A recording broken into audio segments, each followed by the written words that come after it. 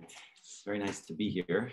Um, I realized how uh, isolating and lonely it is to be with clergy. It's like I was looking at all your conversations and I wished I was part of your conversations. I'm like sitting here by myself. You guys are all having these great conversations. So it's lonely, I'm not gonna lie. So we're not welcoming.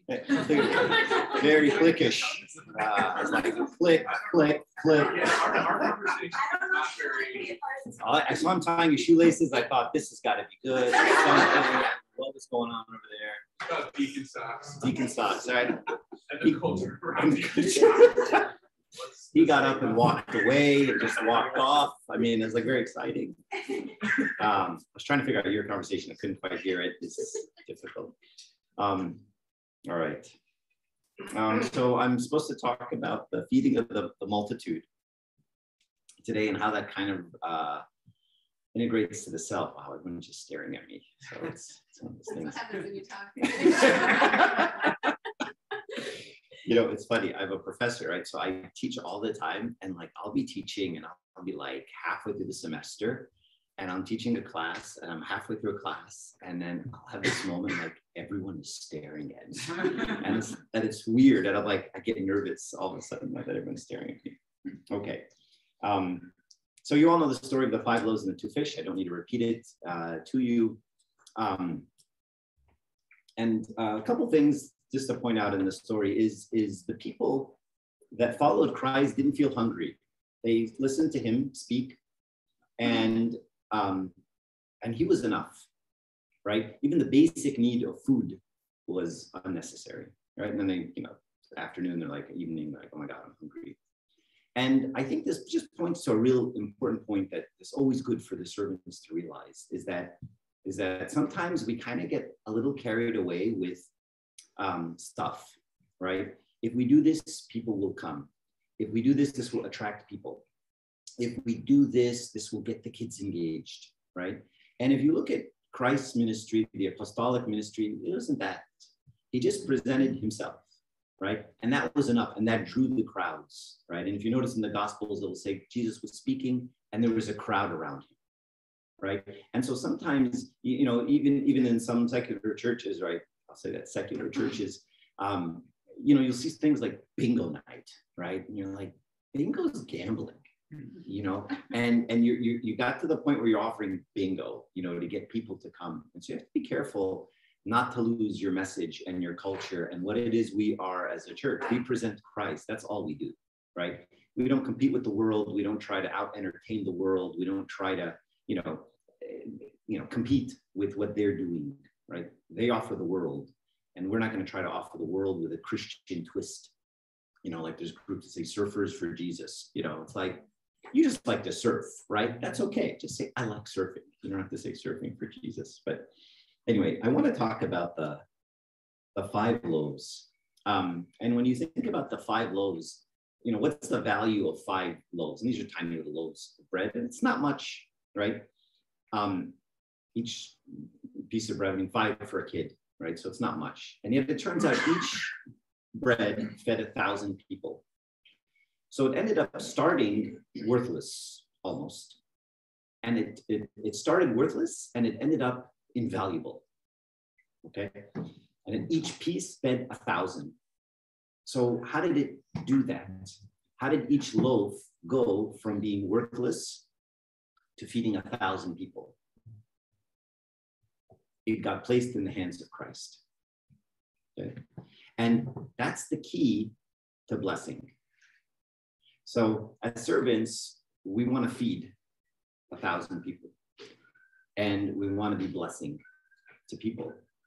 And we are worthless, right? We are dust, right? And we, in and of ourselves, have nothing to offer, right? And the only thing we can offer is to put ourselves in the hand of Christ. And when we do that, then we go from dust, from nothing to everything. So this, this and by the way, this idea of blessing, um, just as a side note, it's very important that the blessing we're talking about is not a material blessing. And and sometimes we reduce religion, and, I'm, I'm starting to meet a lot of youth now who we're dealing with the consequences of this thinking. which is we reduce religion to a way to get things on earth, right?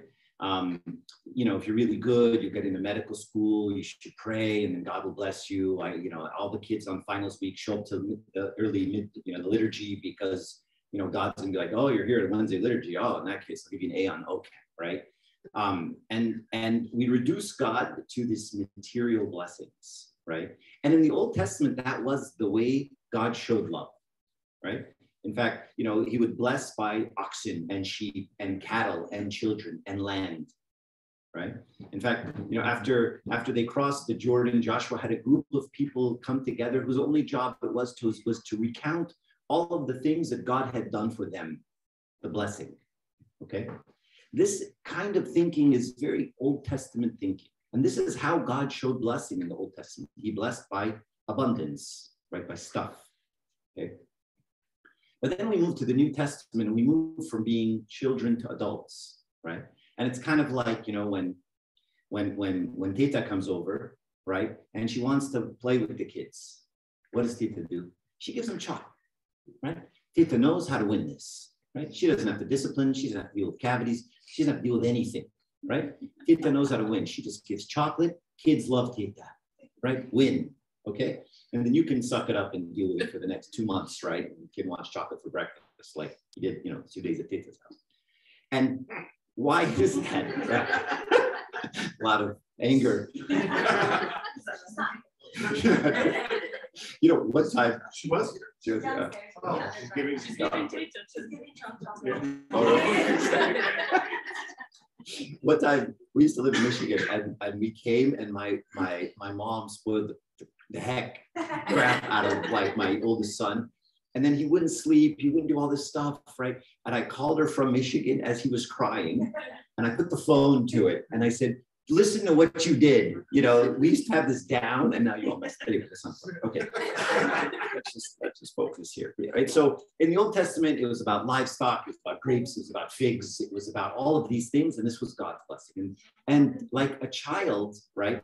God showed us he was good by giving us chocolate.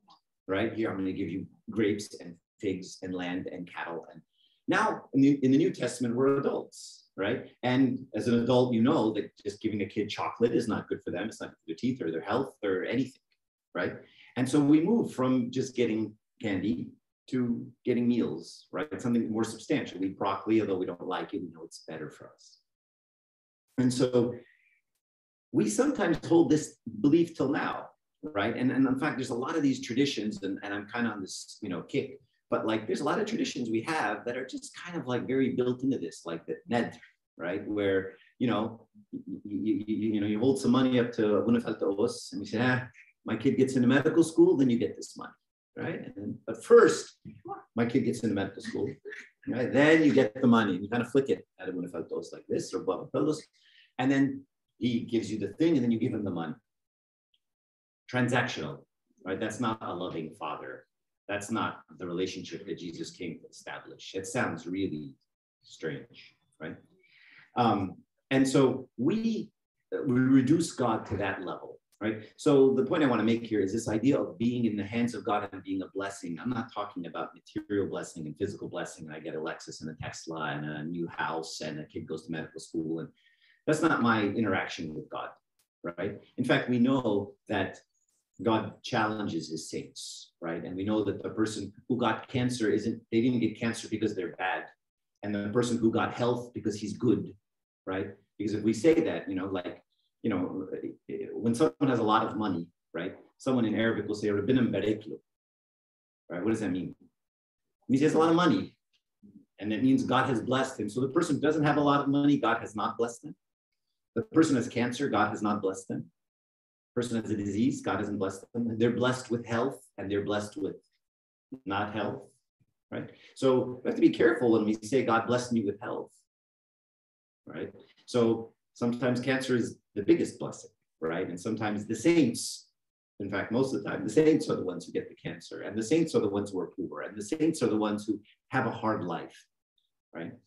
So let's not let's not allow ourselves to, to devolve the concept of blessing to that. But um, okay, the Christian, of course, has a different understanding. It's not about excess possessions. It's not about being a blessing in that way. The Christian is I'm going to be placed in the hands of Christ and I'm going to bless others in my service.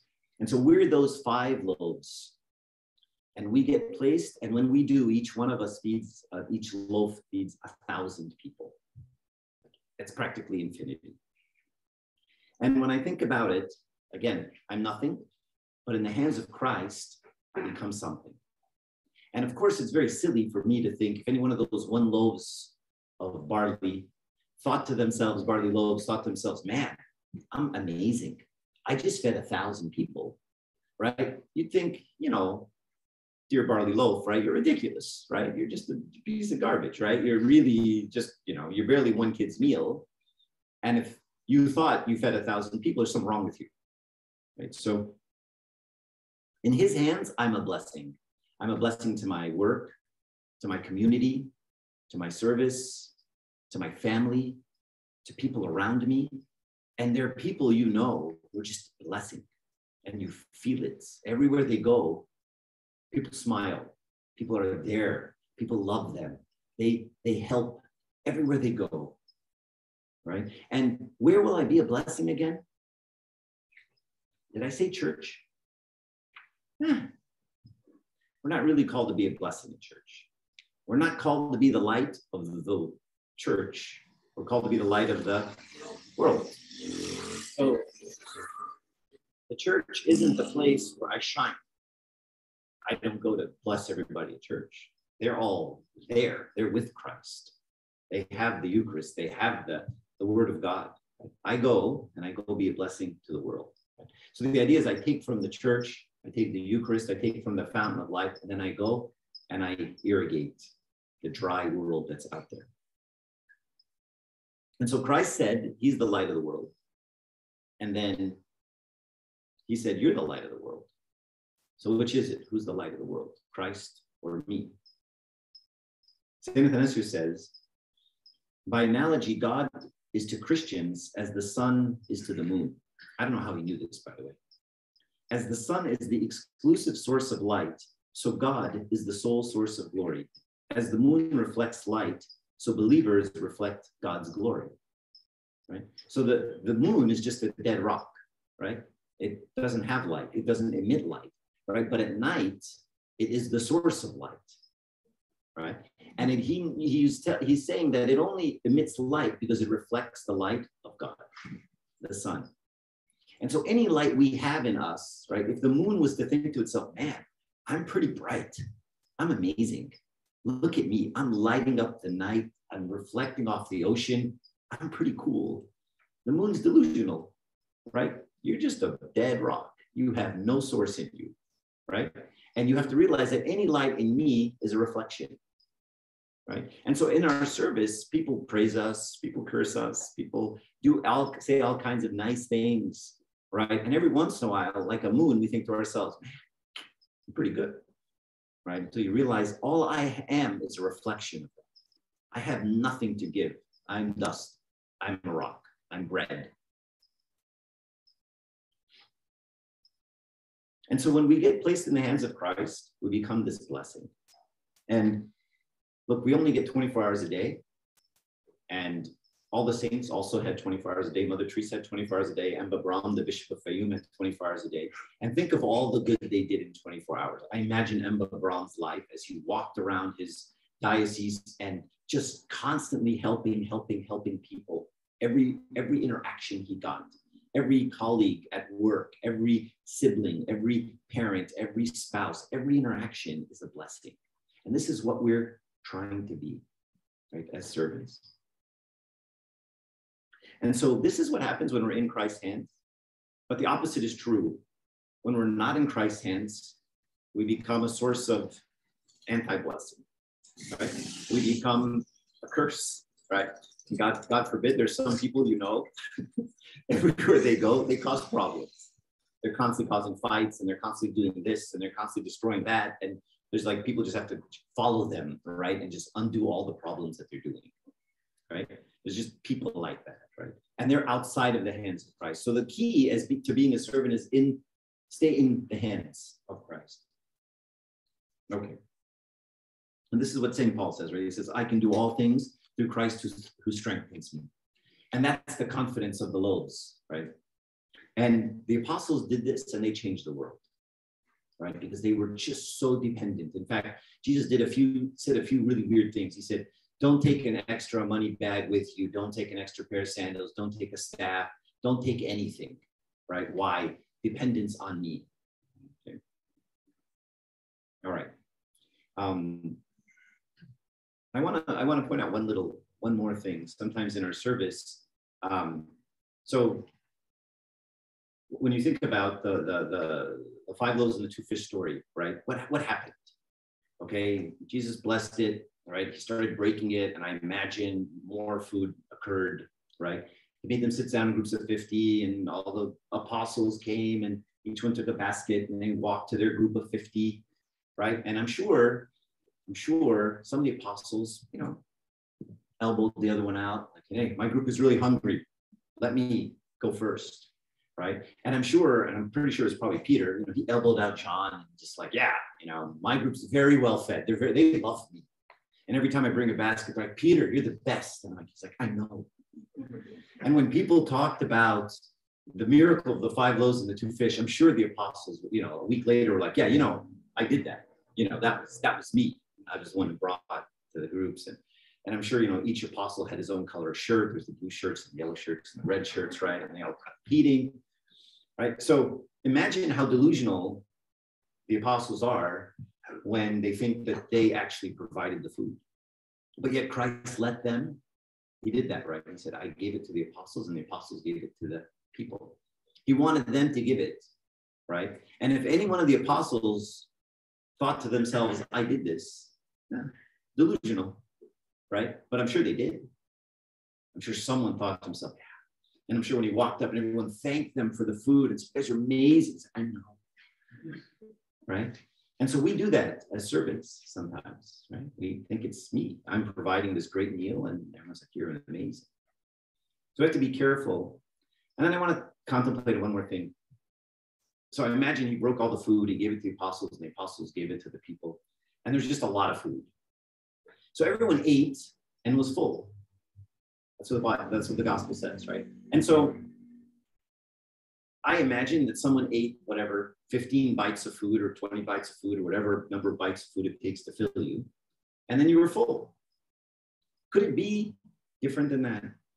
Could it be that somebody in the way back in the corner, John's group, only got one bite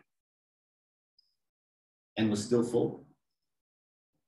Did everyone have to eat and be full the way I think a human being eats and is full? I have to have you know 27 bites of food and then I'm full. Could someone have gotten one bite and felt full and actually been full? Could someone have gotten one bite and the food multiplied inside them? Sure. It's God. He could do whatever he wants. He just turned fed 5,000 people with this.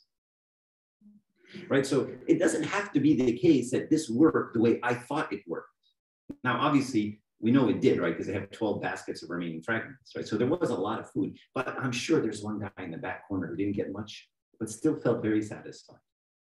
So the lesson we learn here is for us. Sometimes, you know, before a talk or, you know, you know, you go into a difficult situation, right? You're, you're about to go visit someone in the hospital who's in a really bad situation and you don't know what to say, right? And someone's dying and God forbid their child or something really hard. And you stand at the door before you go in and you're like, God, give me the words, right? What, what do I say to comfort this mom? What do I say to comfort these the spouse? And you ask God for words.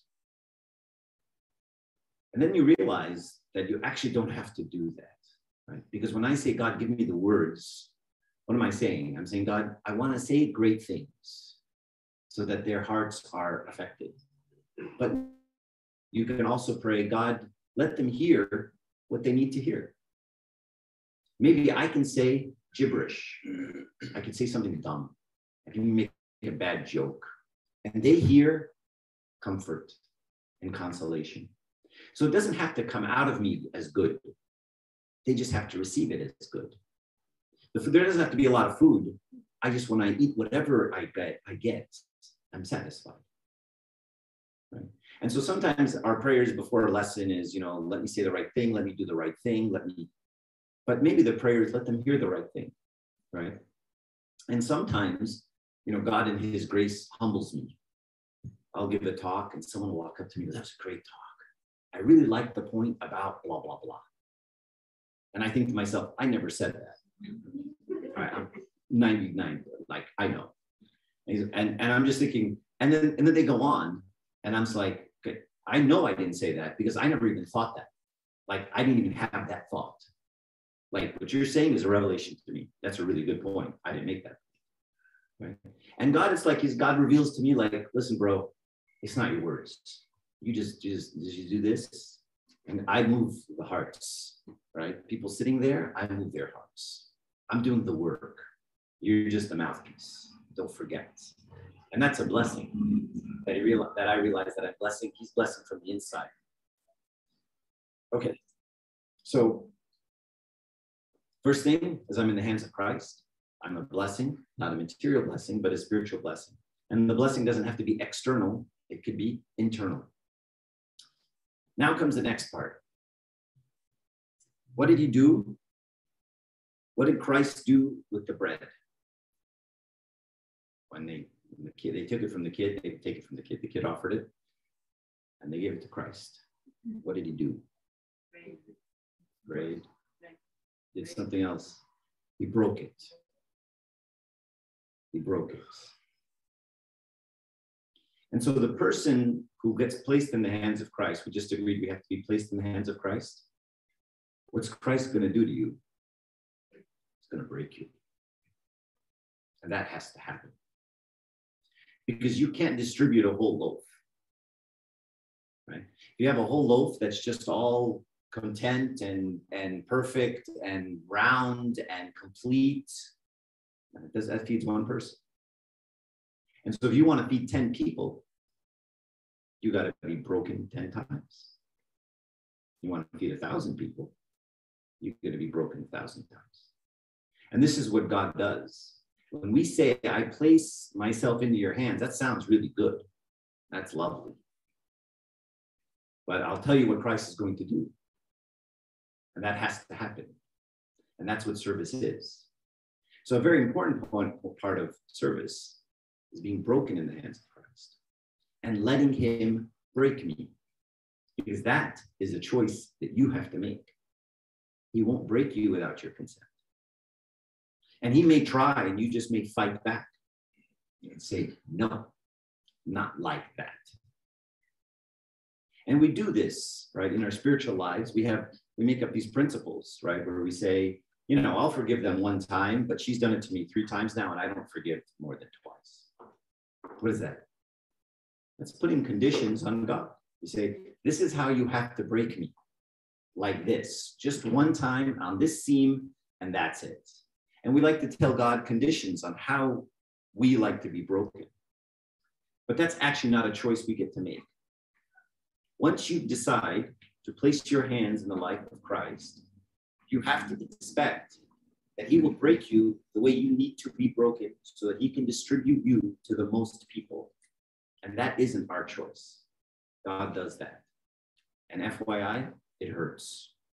It sucks. Because that's where our ego gets crushed. That's where our self will gets crushed.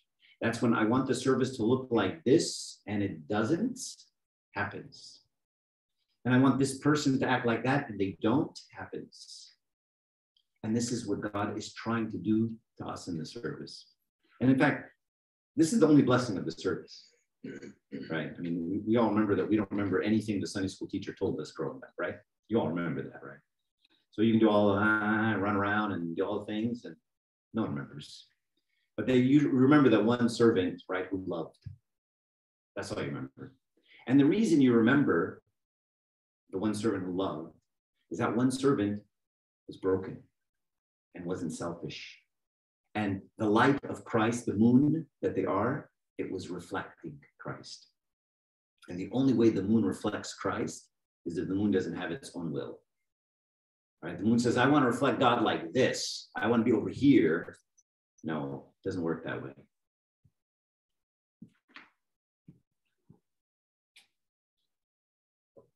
And so, as people, we love ourselves. We love people to do the right things to us. We love people to respect us, to treat us respectfully, to treat us with dignity, to treat us and say, you know, honor our positions and say, you know, you guys are smart and you're, you know, I like the way you're doing things and give us compliments. But that's not the way it works. And certainly that's not the way service works. And, and sometimes ulterior motives can get involved in the service, right? I mean, you all have kids, right? So that's an ulterior motive, right? Many of us serve our kids. Many of us serve the ages of our kids. Many of us want to make sure the kid, there's lots of activities for our kids. What about others' kids? What happens 15 years from now? When your kids are older, are you going to be serving the little uh, four and five and six year olds anymore? Are you going to want to invest in someone else's kids, in someone else's church, in someone else's youth group? Ulterior motives. So we all have these ulterior motives, right? We want to make sure that our kids have a good time, that they get connected to the church. We want to make sure our kids are included. We want to make sure our kids aren't excluded. We want to make sure our kids are in the right group, and we want to make sure that they, you know, marry the right person. They don't do drugs, and they don't go. And they go to medical school, and they do all the right things that they're supposed to do.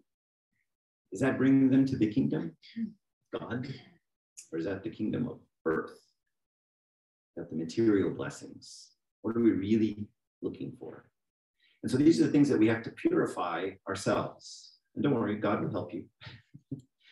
you purify sort of why we do what we do, right? And, and we start to think about why am I serving and who am I serving? And am I just serving me? Right? And if I'm just serving me, then is my service in the hands of Christ?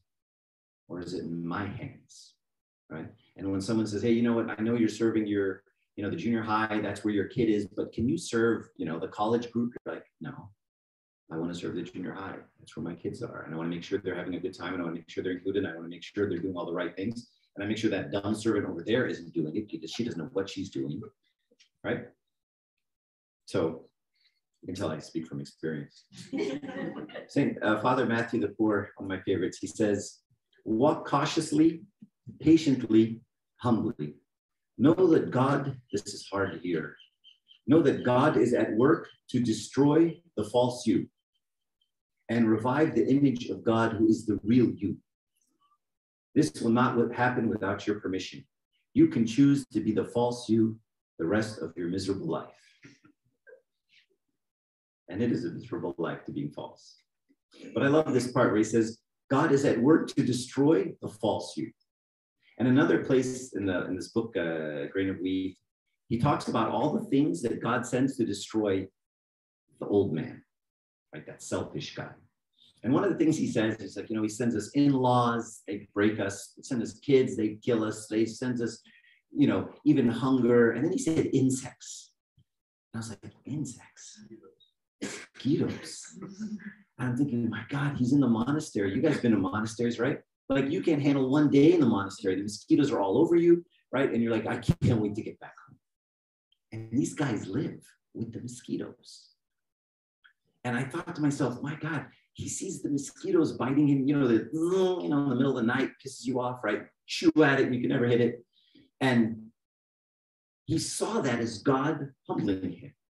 God sent me the mosquito to break that part of me that hates mosquitoes. It's amazing. Right? I mean, you ever watch these like documentaries on kids in Africa or whatever, you go to Africa and you see flies landing on people's faces, right? And you just chew, like you're just like immediate instinct, right? And the person in front of you isn't chewing. They're just letting the flies land on them.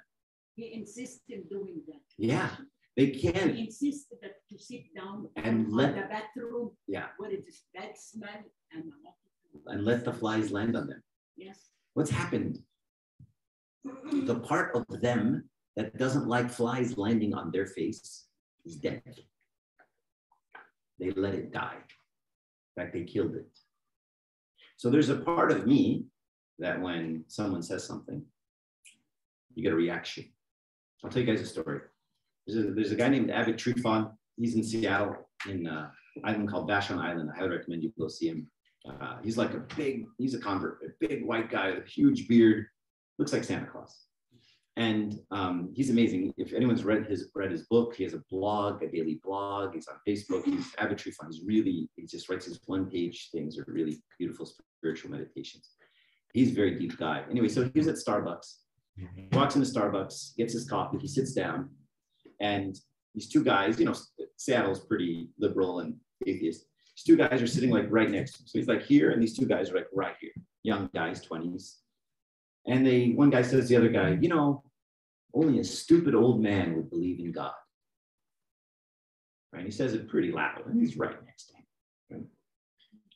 So I have a Tryphon, just, you know, doesn't react, drinks his coffee.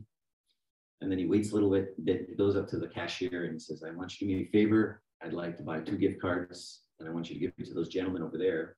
But I want you to wait five minutes after I leave before you give it to them. She said, okay.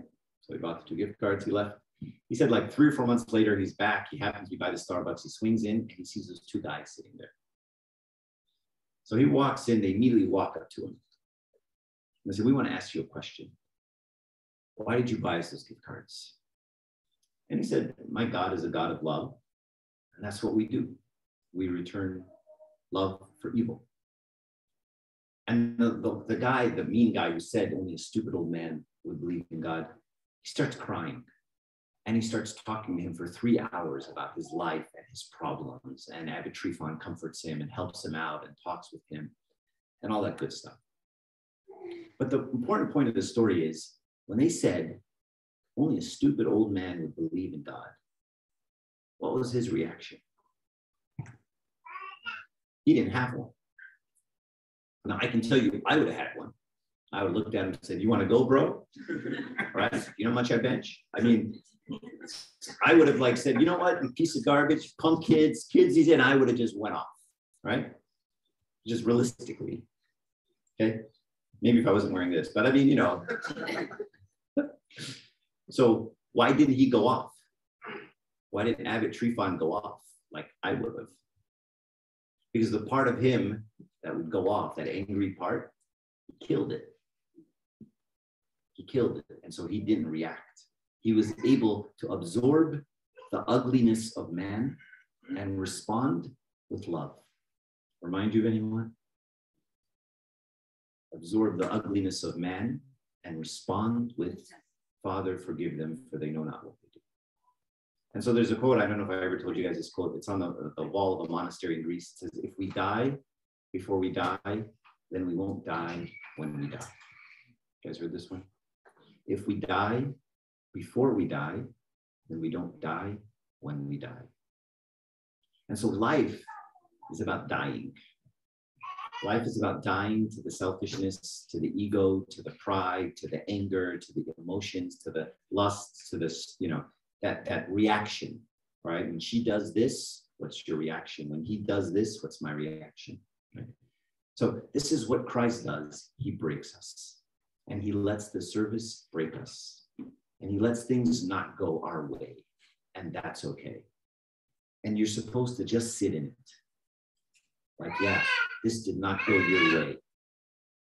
This other servant overruled you, a woman overruled you, the bishop overruled you. That's absolutely correct. Now sit in it and learn to live in it. And let the part of you that's like, well, these people are idiots and they don't know what they're doing. I do, let that part die. Kill it. And this is this is the, the story of the five loaves and two fish. And when we do that, when we let Jesus break us, he distributes us. And the more we're broken, the more we get distributed. Right? The more pieces we're in, the more impactful our services. So the, the legends, right, the Abunam Camels and the Pope, broken. There is no ego in them. There is no trace of the old man. They've broken it. They've killed it. Right? And that's the, the point of the service. I can just stop now. Does anybody have any questions or comments?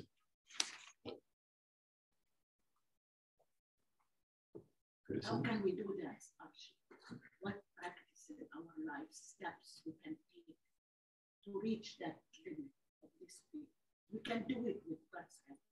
But for us, what to do? So, you know, Jesus says, I stand at the door knocking and you have to open the door. So when a trial comes to me, and actually this this um, this just occurred to me like a month ago. I was reading about the uh, I was preparing for a talk on the Paul Man, the 38 years of last week. And the, the saint was saying there's a very big difference between the action of a person, which is their free will, and the situation that occurs as a result of this person. Okay, so someone, I'll give you an example. Someone at work slanders you, lies about you. Okay, says something, you know, they didn't do this, blah, blah, blah, just to cover themselves. Now that person is lying. They have a free will. They can choose to lie. And they're judged according to their lie, and that's between them and their God. But then he says the situation that arises from that slandering. Now, all of a sudden, boss is looking at you, you might get fired for some evil. So that situation you take from the hand of God and you allow it to happen. And you say, This happened for a reason. And I will accept it as if it's from the hand of God Himself. And I assent to it. Right? I agree and I allow myself to endure it patiently. Right? We see this in like the life of like Pope Kyrillos, right? You read about these priests who are against Pope Kyrillos and they would like say all this mean stuff about him. And instead of uh, uh, arguing with them, he would assent to it. He'd say, I'm going to take it. They're like, you know, you could stop them. No, I won't. I'm going to accept what they're doing as if from God. Right? And he allowed it to happen and he didn't question the person. And so sometimes what we do is we mix the two things, right? The person and the issue. We see an evil person doing an evil thing and we say, this must be an evil outcome. And that's a mistake. Uh, I'll give you another example. Who crucified Jesus? One of his disciples. A bunch of people. Was it, was it God's will that Jesus be crucified? Sure. But I think it's the chief priest's will. Judas's will, the scribes, Pharisees' will. Who did it? God do it, or did the chief priest do it? So the chief priests, in their own free will, with their own decision, chose to do what they did. Even layered a false accusation against him. He's, he's going against the Roman Empire. You got to kill this guy. That's their choice. Now, Jesus could have said, you know what? This whole cross thing, it's coming from those people. I know those people are not good. Those people are liars. Those people are evil. This is not God's will. I will not accept it. This is stuff we do all the time. We look at the person and we say, that person's no good. That person, that's a lie. That person isn't acting in my best interest. So I don't accept the situation. And what this saint is saying is you have to break the person from the situation. Person can be evil. In fact, most of us are. Right? But Jesus then said, Lord, you and he spoke to his father. He said, Father, and this is an interesting thing. He says, You can do all things. All things are possible with you. What does that mean? You could stop this, but not your will, Uh, not my will, but your will. He says, Remove this chalice from me. Like I'm not interested. This kind of it's going to hurt, but thy will and not my will. So he took the crucifixion from the hand of the Father immediately without questions asked. So sometimes in the service in life, something bad happens, like to Pope Kyrillos and to Jesus and to whoever. And we say, that person's evil, this is no good. He says, you have to separate the situation, we assent to it. And so the way, the practical way we do this is when something comes to us, we take it from the hand of God and we allow it to do what God wants it to do in us without fighting back. And in fact, this is what Abuna says. He says, this will not happen without your permission. Right? You can choose not to, to do it. Any other questions? I have one poem I was going to read to you, and then I'm, I'm done. So you guys should ask questions. Yes. Is there a marker for like that part of you being dead, or is it just like a new notice, or is there like a marker feeling like positive ideas now coming from people? Don't don't don't look for an outcome. Trust the process, right? So it's like working out, right? Don't look for results. Love, fall in love with the process, right? And then the results come, right? So don't don't don't like, well, you know, how spiritual am I? You know, I, I wonder if I, you know, I, last year I would have gotten, but this year I didn't. So I, yeah, don't do that, right? You just do the right thing. You know, just you know, put on blinders and you're not even looking at, you know, five seconds ahead or five seconds behind, just right now. Just do the right thing. Just do the right thing. Just do the right thing. You know, but this guy's done this five, just do the right thing, right? Focus. So, and as far as progress, okay, you make progress the worse you feel, right? So, uh, let's go back to working out. There should be no workout right? Where you feel good. Right? So if you have a coach, coach says, I want you to run this stairs, right? You run the stairs, and at the end, you're like, Coach, that was easy. Man, that was a great workout. What's coach gonna do tomorrow? Right? You ain't you're, you're not doing the same workout, right? Because it wasn't a workout. If you say it's easy, it's not a workout, right? So by definition, every time one of these trials comes to us, it has to hurt. Otherwise, it's not a cross right? So you always feel terrible, right? You always feel pushed. Like every workout, you feel pushed. Same with school, right? If you if my kid comes home in fifth grade and they're doing math, like, Dad, this math is so easy. We learned this in fourth grade. I'm like, well, then you're not in school. You're not learning, right? I'm gonna have to talk with your teacher because you shouldn't be covering fourth grade material in fifth grade, right? And it, you shouldn't be excited that it's easy, right? It should hurt your head right? When your kid's struggling, like, ah, you know, I'm, I'm getting it, but it's really hard. Perfect. That's where I want you. And fourth grade, I want you at that level. And in fifth grade, I want you at that level. And sixth grade, I want you at that level. And seventh grade, I want you. And I don't want it to ever feel easy or too hard. I want you right there in the middle all the time. Struggle and get it, struggle and get it, struggle. And the spiritual life is exactly like that. You never reach a grade where you're like, yeah, I'm in ninth grade now and I know it all. That should never happen. Good question.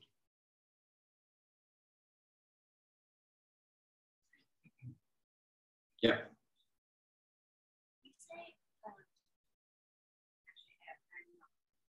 I don't remember the word, the exact person. So you said something along the lines of um, essentially like just submitting, like letting it just happen to you. So at what point do you kind of become, I don't want to say like com- com- complacent and like what's happening to you, but is there something to be said about at least having some active role in, in what's happening around you as a, like as it, as opposed to just happening to you? Does that make sense? Like not um Are you taking the bedroom? not not that because I feel like even that can kind of be, be a little like superficial if you feel like you're being the doormat and then again like you're you're still now thinking of yourself like what was me. So not even in that sense, but in a sense of like having an active role in, in and what's actually happening in your life, as opposed to you're just kind of like, you know what I'm saying? Yeah, like yeah, you I know. get to an extreme where you're like, oh, I don't care, Yeah, like, yeah. it's great, God is, but like, and you're just kind of being. Yeah. There's something to be said about, you know, well, there's still like I get that. I get exhaustion, mental toll on you, and and not just being taking an active role in in how you're living your life going forward and, and how it affects other people around you. Okay, yeah, yeah, I get what you're saying. Um, so, how do I say this?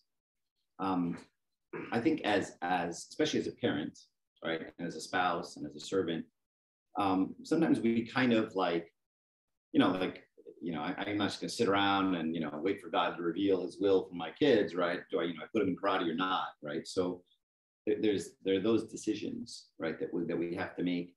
And of course, as a parent, we're always taking a very active role in our kids' development. And and but I want to warn all of you, you know, a lot of young parents here, and you know, hopefully the older parents will back me, is that you don't want to get like too drawn into your ability to control a situation. Like control is a is really a figment of your imagination, right?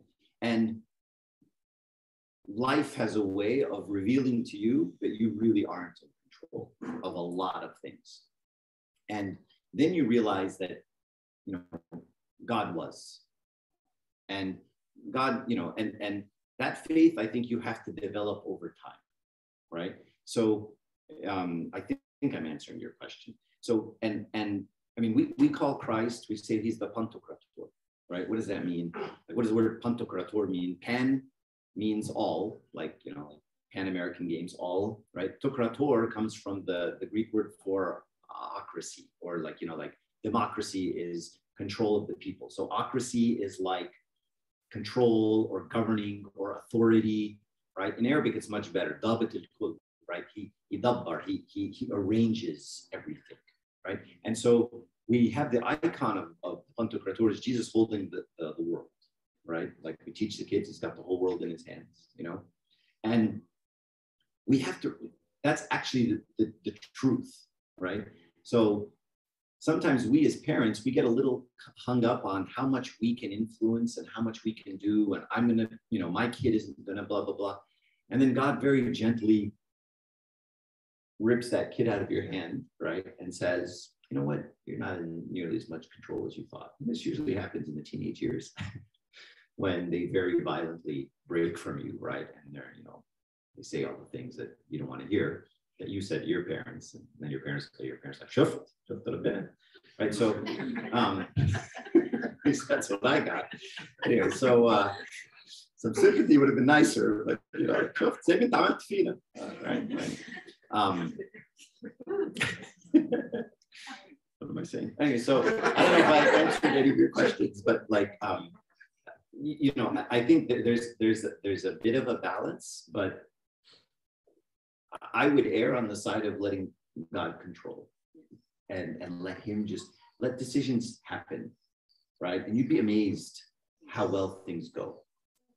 I'm getting some yeses from the old people, so I know I'm, I'm doing the right thing. Yeah. Why do we have to have this mentality to die, that verse that you said about die, right? Like, why do we have to have this this idea to always die and push yourself and not try to keep things simple? Like, I feel like in our church we do that all the time. We have Holy Week all week, and you're there for hours. And you have Bright Saturday for 12 hours. Why? You know, like why do we and then we say like for blessings or to praise, like but I feel like our church is always pushing us to keep going and like unnecessarily. Like why do we have to have this mentality of keep pushing yourself to die? So we don't die us, we die the ego inside us. So so so so the the there's two separate things going on. First thing is, wait, I'm way out of my, you know, pay grade here, right? So, I mean, I could tell you what I think and be excommunicated tomorrow, but I'm not going to right? So, um, but I just revealed to you what I think, didn't I? Okay. So, um, the more important point is is uh, he, he got he got what I said. We're gonna be streaming this this week. Yeah, yeah. Uh, this is the least of my problems. Um, I think people sometimes people bring me in just like he's going to say stuff and it's just going to he's going to off the rails at some point. Um, but there's a big difference, a huge difference, and extremely important difference between what I just said and what you just said. Okay, and I'm, I want to go to it's an infinitely different difference. Okay, long, long, long, long services and long, long, long, long hymns in order to kill us. That's not what I'm talking about, okay, at all. But I mean also like the aspect of like, you know what, like I used to have in my head, like wake up early, read your day, uh, all this stuff. Yeah, yeah. That also is is that also is not so. Let's go back to working out. Okay? so when you when you when you go to the gym, okay, and you uh, some guy next to you is lifting like you know 30 pound dumbbell, 40 pound dumbbell, he's got huge arms, and he's, right, and you go, yeah, I'm gonna do, I'm gonna look like him, right? So I take up a half pound dumbbell, okay, and I do this, right? I'm like, this is so fantastic, right? The reason it's fantastic is I'm not getting any better, okay? Something like fasting, for example. Fasting is not a thing. Fasting is exercise. It's a muscle, right? And I'm working the muscle for the actual thing. You know, when when a when a running back goes into the gym and he does squats, okay, squats is not what wins football games. Touchdowns win football games, right? The squats are not the objective, right?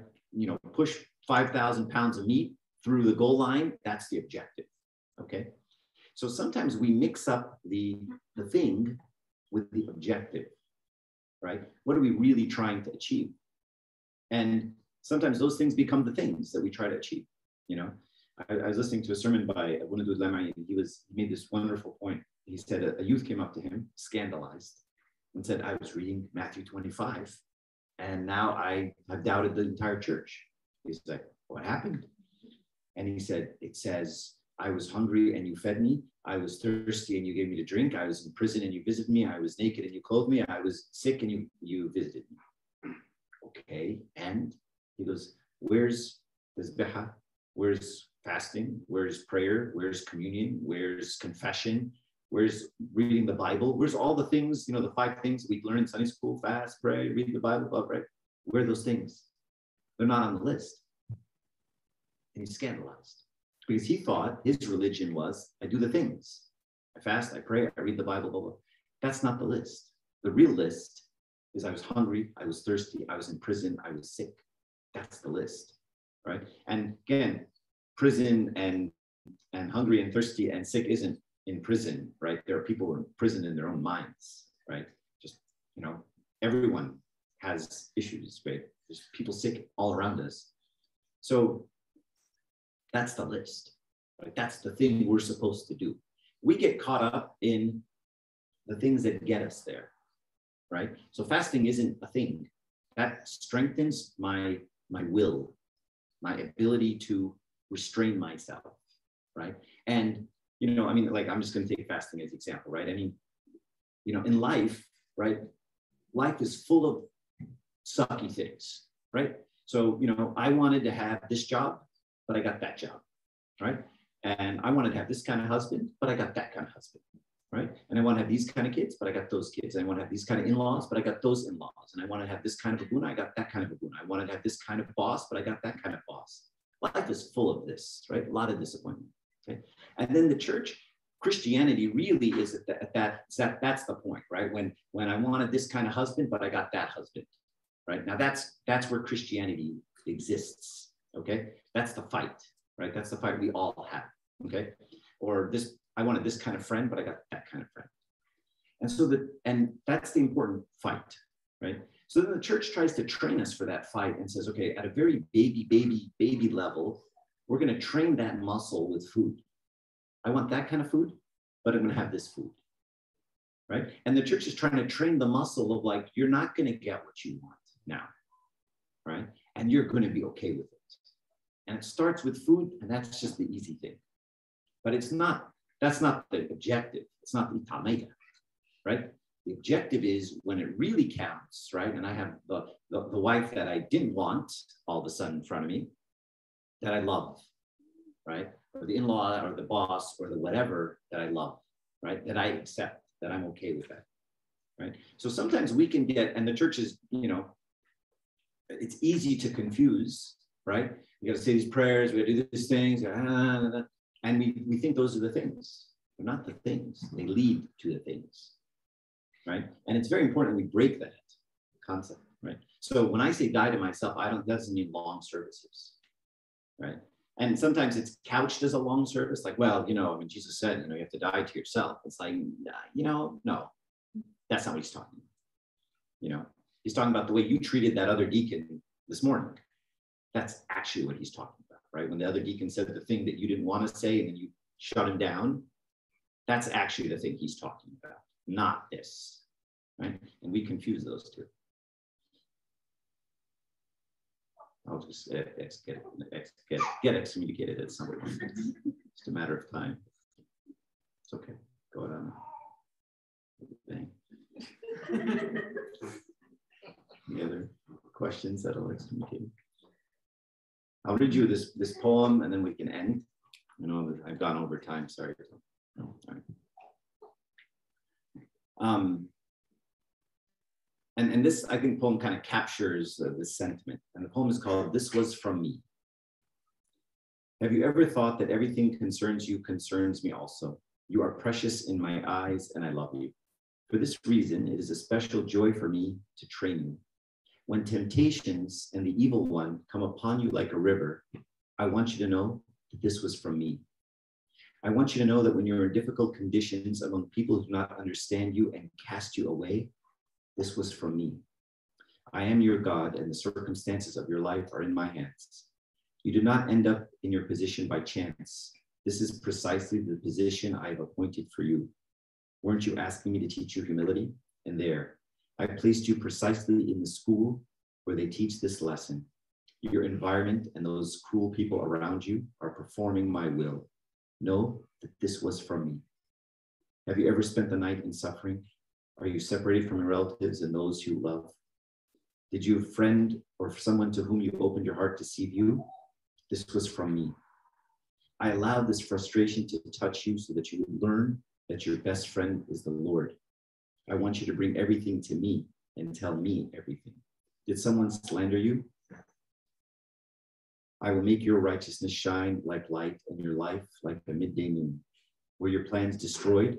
Your soul yielded and you were exhausted? This was from me. Unexpected failures found you and despair overcame your heart, but know that this was from me.